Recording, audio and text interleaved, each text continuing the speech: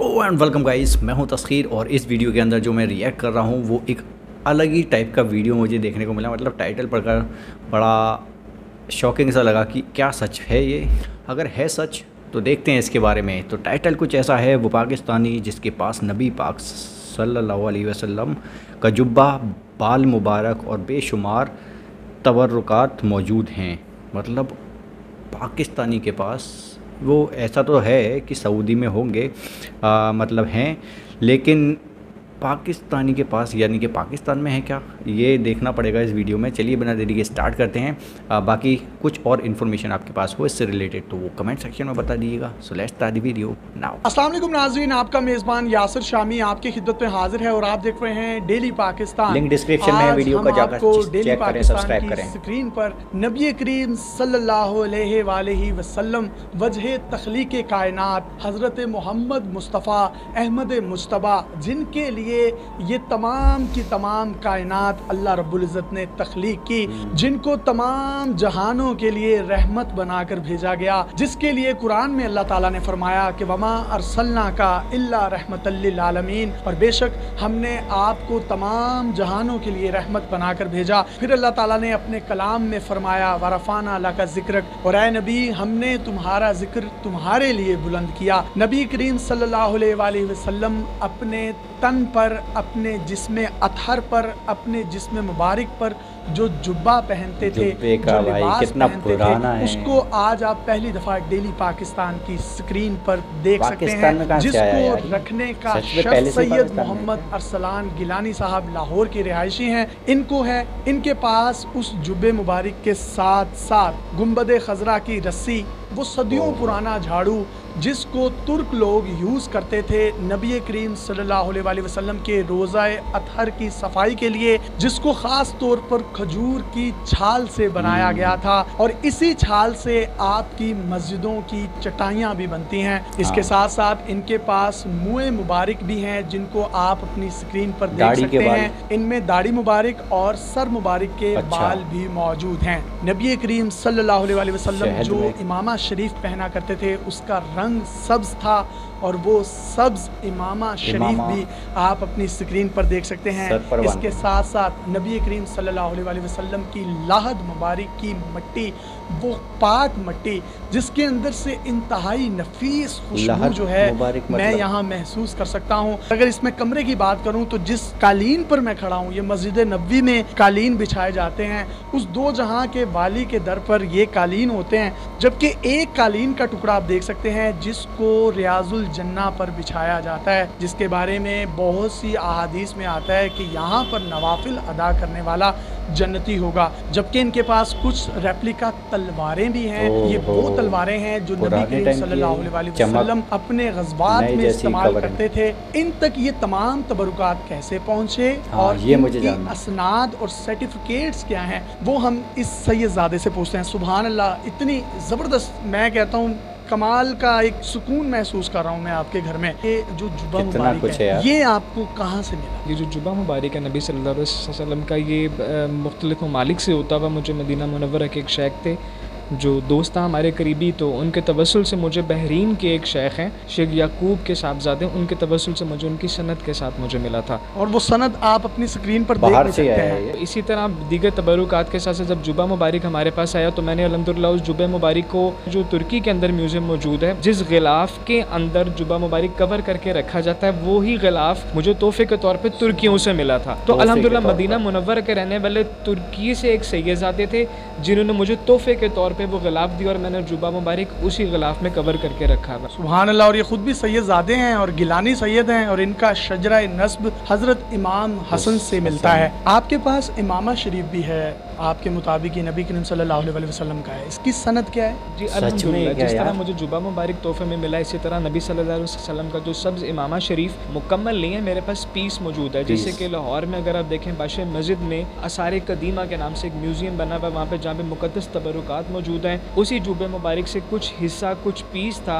जो मुझे तोहफे के तौर पर बरकत के लिए मुझे मतलब कि मिला और जिनके तवसल से मिला वो कराची के एक दोस्त थे। चल सो चल जो सिलसिला जिस तरह पहुँचते पहुँचते मेरे तक वो पीस तकरीबन अलहमदिल्ला अल्हम्दुलिल्लाह मेरे पास मौजूद है। और इसकी सनद? इसकी सनद भी अल्हम्दुलिल्लाह अरबी में लिखी हुई मेरे पास मौजूद है। तो इसके अंदर शेख अख्तर बिन याकूब जो बहरीन के शेख हैं उनकी लिखी हुई सनद मेरे पास मौजूद है। जी वो सनद और उनकी जो मोहरें हैं जो जिसको स्टैम्प्स कहा जाता है वो भी आप देख सकते हैं। डेली पाकिस्तान के तमाम नाजरीन इन तबरुकात की ज़्यारत कर सकते हैं दीदार कर सकते हैं और अपने प्यारों दोस्तों और फैमिली मेंबर्स को भी इस अजीम ज़्यारत से मुस्तफ़ करवा सकते हैं। आपके पास मुँह मुबारक भी हैं। ये दाढ़ी मुबारक के भी हैं हाँ। और सर मुबारक के दिए। आप तक कैसे पहुँचे? इसकी सनत क्या है?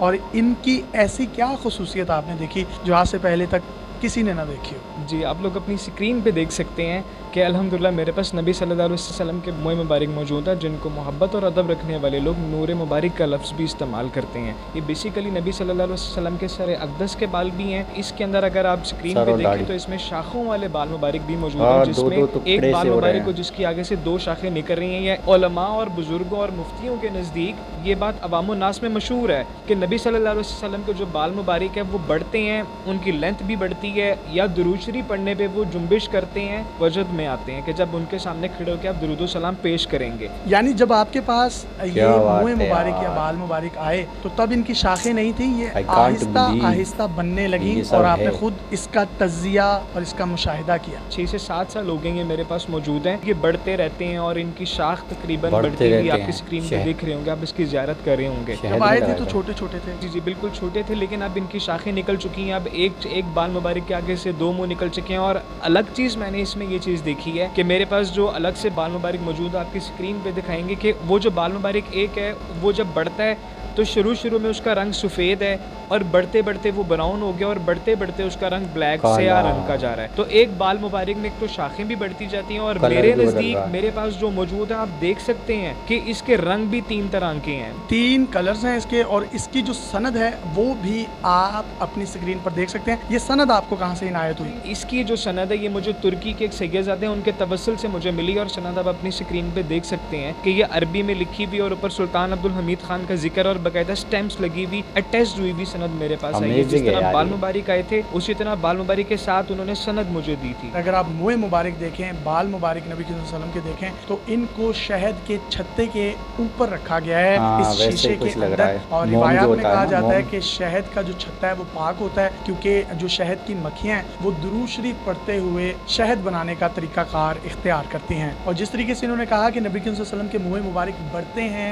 उनकी शाखें भी निकलती हैं और दो से तीन शाखें हम अपनी स्क्रीन पर भी देख सकते हैं। तो इस कायनात में शायद ही कोई ऐसा इंसान हो जिसके दुनिया से पर्दा फरमाने के बाद जिसकी रहलत के बाद उसकी किसी भी जिसम से मुंसलिक चीज़ की बढ़ोतरी होती हो। हाँ, बहुत से लोग ये सोच रहे होंगे कि ये कैसे मुमकिन है? उनके लिए मैं यही कहूँगा कि फैलाए हुए गोशाए दामान तजस साइंस मोहम्मद का पता पूछ रही है। इस्तंबुल जिसका पुराना नाम कुस्तुत दुनिया है और ये तुर्की में वाक़ है यहाँ तोप का इसराइल ढूंढ रहे हैं बहुत मशहूर है जिसमें बेशुमार किस्म के तबरुकात मौजूद हैं। 22 तलवारें जो नबी करीम सल्लल्लाहु वसल्लम और उनके जंगजू साथी हज़रत उमर फारूक हज़रत अली हज़रत साद बिन अबी वकास हज़रत खालिद बिन वलीद समेत वो तमाम सहाबा इकराम जिन्होंने गजबात में नबी करीम सल्लल्लाहु वसल्लम के शाना बशाना जंगें लड़ी गजबात लड़े वो तमाम की तमाम तलवारें वहाँ मौजूद हैं जिनमें से कहा जाता है कि नौ तलवारें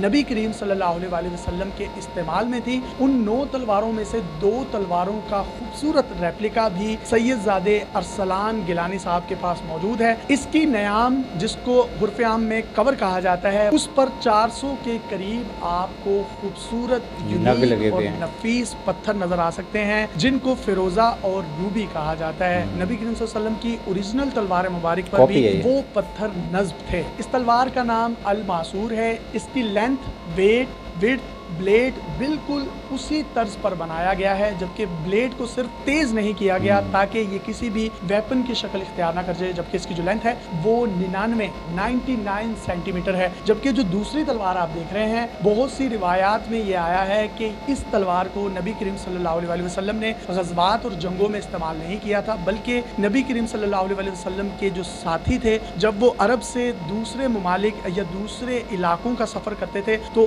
प्रोटेक्शन के लिए इसको इस्तेमाल किया जाता था। इसका जो ब्लेड है वो काफ़ी थिन है जबकि जो अलमासूर है उसका ब्लेड काफ़ी थिक है। अलकजीब की जो लंबाई है वो 100 यानी 100 सेंटीमीटर है। इसकी लेंथ वेट विड्थ वो तमाम का तमाम रेप्लिका उस ओरिजिनल तलवार मुबारक जैसा है। और ये दोनों तलवारें भी इनको तहाइफ में दी गई हैं। अपनी स्क्रीन पर आप एक खूबसूरत झाड़ू देख सकते हैं जिसको खजूर की छाल से बनाया गया है। इस झाड़ू की मदद से पुराने दौर में आज से सदियों साल पहले नबी करीम सल्लल्लाहु अलैहि वसल्लम कॉपी है या ओरिजिनल ये और लहद मुबारक के इर्द गिर्द की सफ़ाई की जाती थी। ये झाड़ू आपको कहाँ से मिला और इसकी सनत क्या है? ये झाड़ू मुबारक जो बेसिकली है ये मुझे तुर्कियों से मिला है और ऑटोमैन एम्पायर्स का जब टाइम था मदीना मनवरा में तो उस दौर में झाड़ू जो है ये खजूर की छाल से जो बना हुआ है उस टाइम में इस्तेमाल किया जाता था। तो तुर्कियों के तवसल से ही मुझे ये अलहमदिल्ला तोहफे में आया और अलहमदिल्ला ये मेरे पास मौजूद है। और आज के दौर में जिस झाड़ू से नबी की रोज़ा मुबारक और लहद मुबारक के इर्द गिर्द की सफ़ाई की जाती है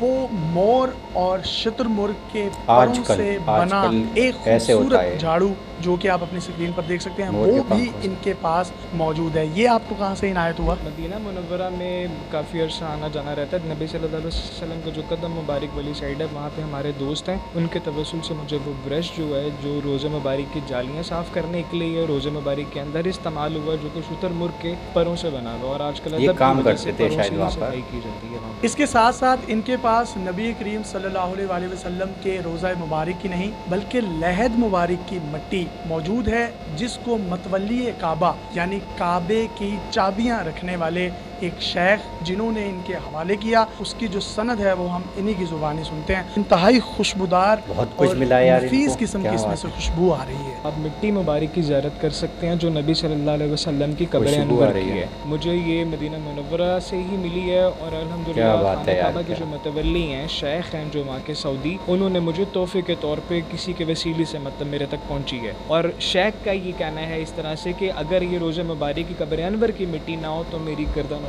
जी बहुत से लोगों के माइंड में ये सवाल होंगे कि ये जो मुहे मुबारक है ये कहाँ से हासिल किए गए? आखिरी हज के मौका पर नबी वसल्लम ने जब हल करवाया अपने बाल मुआए हाँ। कुछ सहाबा इकराम वहाँ पर मौजूद थे जिन्होंने उन मुहे मुबारक को तबरुकात के लिए अपने रख लिया। लिया। एक सहाबी थे जिन्होंने उसको बाकी सहाबा इकराम में तकसीम भी किया। तब से ये सिलसिला चलता आ रहा है। वो गालिबन कौन से सहाबी थे रिवायत में जो तो आते हैं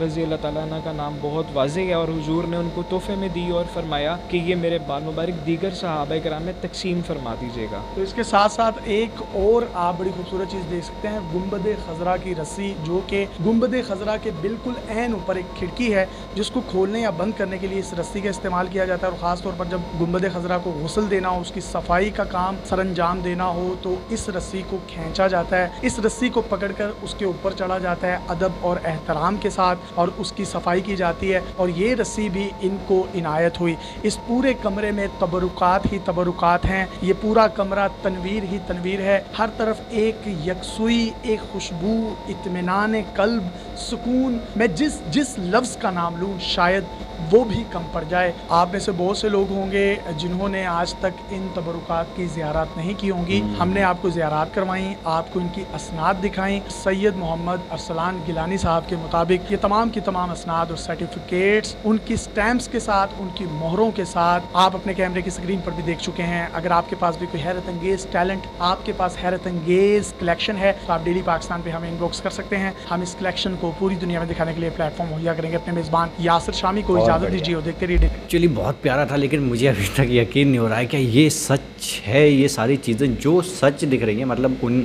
तलवारों को हटाकर जो सल्लल्लाहु अलैहि वसल्लम की तलवारें थी उसको हटा हटा दो वो डुप्लीकेट थी।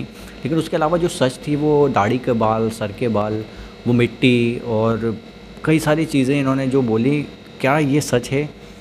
वो झाड़ू मतलब मुझे यकीन नहीं हो रहा है कि वो चीज़ें वहाँ थी। ये लाहौर के रहने वाले हैं ये लाहौर में ही थे शायद अभी तो उनके घर पर हैं ये सारी चीज़ें। जुब्बा है भाई, जुब्बा। तो मैंने सुना था सऊदी में है मतलब मैंने सुना था, मुझे ऐसा लगता था सऊदी में होगा वो जुब्बा वगैरह और बहुत सारी चीज़ें उनकी बची हुई जो हैं। तो वो सऊदी से वो निकाल कर किसी और को कैसे दे सकते हैं? मतलब ये सवाल था।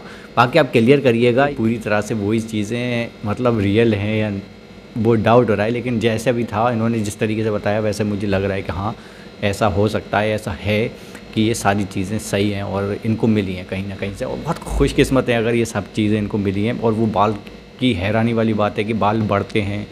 दो टुकड़े भी उनको, उसको देख, दिख रहे थे सिरे से। सो कमाल है यार, कमाल कितना कमाल है, बहुत ज़्यादा कमाल है, जो हैरानी वाला कमाल है। सच में यार, बाकी आप कमेंट सेक्शन में बताइए, इससे रिलेटेड और कुछ जानते हैं। फ़िलहाल के लिए इस वीडियो में इतना ही, मिलते हैं फिर नेक्स्ट वीडियो में, तब तक के लिए, bye bye, take care, signing off.